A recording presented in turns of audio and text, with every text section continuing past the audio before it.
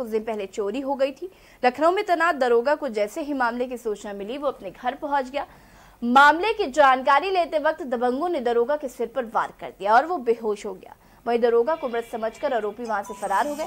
परिजनों ने दरोगा को अस्पताल में भर्ती कराया, जहाँ तीन आरोपियों के खिलाफ मुकदमा दर्ज किया गया है। पीड़ित का आरोप है कि शिकायत करने के बाद भी आरोपी उन्हें बार बार धमका रहे हैं।